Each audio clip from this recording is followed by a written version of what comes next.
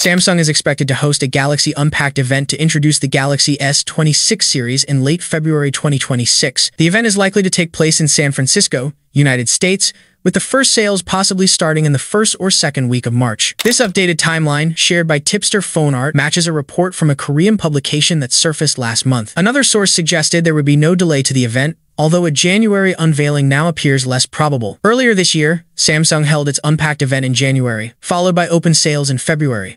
However, the company has reportedly reorganized the Galaxy S26 lineup and adjusted several key specifications at the final stage, which has pushed the schedule back. Despite these changes, Samsung is not expected to raise prices for the Galaxy S26 series. This price stability seems to come at the expense of limited camera upgrades. The adoption of the Exynos 2600 chipset could offset some concerns, especially since the processor was officially announced this week. According to a tweet shared by Anthony, the Galaxy S26 series will introduce new local AI hardware and software designed to strengthen Samsung's lead in mobile AI. The report also states that these upcoming AI features will be exclusive to the Galaxy S26 lineup, meaning older Galaxy devices are unlikely to receive them. This strongly suggests that Samsung is positioning the S26 Ultra as a true AI-focused flagship rather than just a routine generational refresh. As reported by CID, a new US and Canadian Galaxy S26 series update has been spotted on Samsung's test servers. The update is based on One UI 8.5 and carries the build identifier AYLL. Multiple firmware versions for different regional and carrier models have appeared, indicating that Samsung is already deep into internal testing. The appearance of One UI 8.5 at this stage suggests that Samsung is refining the Galaxy S26 Ultra's software experience early, likely to better support its upcoming AI-focused features. Combined with the reported local AI hardware, this points toward a device that prioritizes speed, efficiency, and intelligent on-device processing. Taken together, these leaks paint a clear picture. The Galaxy S26 Ultra is not just about raw specifications. Samsung seems to be building a flagship centered around exclusive AI capabilities, advanced software optimization, and next-generation on-device intelligence. If these reports hold true, the Galaxy S26 Ultra could set a new benchmark for Android smartphones in 2026, with the most expensive model offering direct satellite connectivity for emergency use. That feature, however, appears to be limited to a single regional version. The Galaxy S26 Ultra carrying the model number SMS 9480 has now received approval from China compulsory certification for the Chinese market, and certification documents confirm that this variant includes direct satellite communication. This functionality is expected to let users share messages or location details with local emergency services when no cellular network is available. At this point, it remains unclear whether full emergency calling support is included. A well-known leaker has highlighted how the Galaxy S26 Ultra's charging situation unfolded over time. According to the source, most people had already accepted that 60-watt charging would not happen and believed Samsung would stick with 45-watt charging for the S26 Ultra. Despite this, the leaker continued to stand by the claim that 60-watt support was real. Now, with newer information backing it up, the leaker states that the original claim has been proven correct. They also reiterated that the Galaxy S26 Ultra's specifications regarding 60-watt charging remain unchanged and were never downgraded to 45-watt, reinforcing confidence in earlier leaks. The Galaxy S26 Ultra is widely expected to support 60-watt wired charging, powered by Samsung's new super-fast charging 3 technology.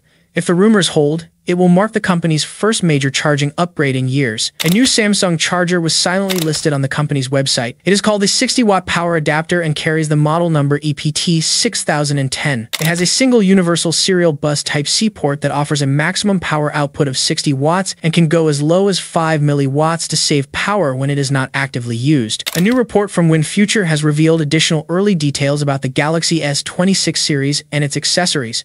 According to their exclusive coverage, Samsung is now preparing to launch the Galaxy S26, Galaxy S26 Plus, and Galaxy S26 Ultra, and a wide range of official accessories is already in development. This confirms Samsung's plan to make magnetic wireless charging a standard feature across the entire Galaxy S26 lineup. According to the latest information shared by the German publication, Samsung is preparing several official accessories for the Galaxy S26 lineup. These include Samsung magnetic carbon case in black for the Galaxy S26 and Galaxy S26 Plus, Samsung clear case transparent for the Galaxy S26, Galaxy S26 Plus, and Galaxy S26 Ultra, Samsung magnetic clear case transparent for the Galaxy S26, Galaxy S26 Plus, and Galaxy S26 Ultra. Samsung Dual Magnet Holder Ring for all Galaxy S26 models. Samsung Magnetic Rugged Clear Case for the Galaxy S26, Galaxy S26 Plus, and Galaxy S26 Ultra. Samsung Magnetic Silicone Case for the Galaxy S26,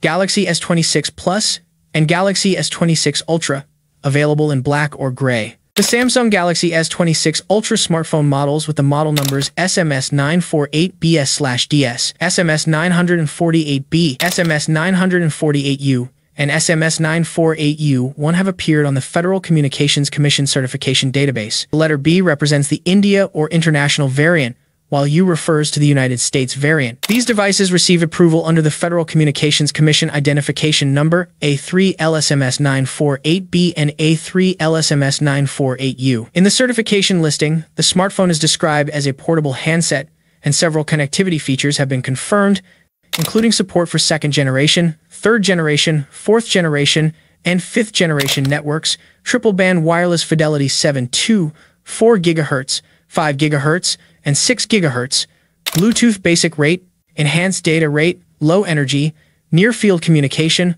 wireless power transfer for wireless reverse charging, and ultra wideband. Additionally, the listing confirms the Qualcomm Snapdragon 8 Elite Generation 5 chipset model SM8850 for the device, along with Qualcomm's Smart Transmit Plus extended feature set version 24, which supports antenna grouping and a multi-transmit factor of 1.27. A schematic diagram showing the layout of different antennas. Wireless Fidelity 1 is 2.4 GHz slash 5 GHz slash 6 GHz. Wireless Fidelity 2 is 2.4 GHz and 5 GHz slash 6 GHz. And Ultra Wideband 1 and Ultra Wideband 2 receive only has also been included. It looks like Samsung's own leaked software may include images of the upcoming flagship models. Images resembling official renders of the Galaxy S26 lineup were discovered inside One UI 8.5. One of these, identified by Android Authority, shows a device using the codenames M1 and M2, while another image highlights a phone labeled with the codename M3. According to Android Authority, their examination of Samsung's One UI 8.5 software revealed a pair of renders representing the Galaxy S26 series. The first image includes a device tagged with the codenames M1 and M2, and the second features a device labeled M3. Earlier leaks indicate that M1 and M2 correspond to the standard Galaxy S26 and the Galaxy S26 Plus. Meanwhile, the M3 codename has consistently been associated with the Galaxy S26 Ultra. Both newly found renders align closely with previous leaks. The two base models are expected to feature a vertical camera setup with three rear lenses, while the S26 Ultra will include the same vertical layout, but with two additional sensors positioned beside it. Along with that, we also have a set of new details that highlight what Samsung is preparing for its 2026 flagship lineup. Samsung has now released the first official teaser for the Exynos 2600 chip, and honestly, it looks impressive. The trailer highlights a refined core design, optimized performance at every level, and then reveals the confirmed name the Exynos 2600. For anyone unaware, the Exynos 2600 will be the first phone chipset built on a 2nm architecture. Based on the early leaked benchmarks, the results so far look very promising. Samsung didn't include any launch dates in the trailer, so this serves purely as the first formal announcement of the Exynos 2600. We can expect more promotional teasers like this in the coming weeks. Speaking of official material, these could be the confirmed wallpapers for the Galaxy S26 Ultra. What makes them interesting is that they may also hint at the final color options of the S26 Ultra. Out of all the shades shown, the standout for me is definitely the new purple variant. Based on the wallpaper,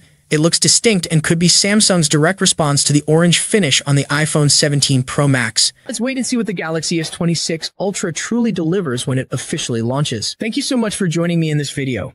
If you enjoyed what you saw, don't forget to like the video and subscribe to the channel. See you in the next video. Peace out.